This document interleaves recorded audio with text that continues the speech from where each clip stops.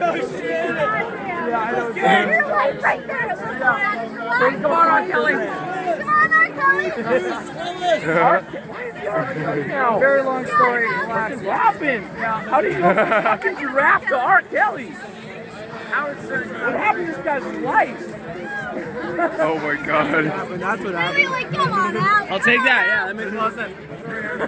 I would say that's a very plausible answer. Tyler, explain what's happening right here. There, that's what's happening. Fucking giraffe stuck in the tree. Fucking giraffe stuck in a tree. What?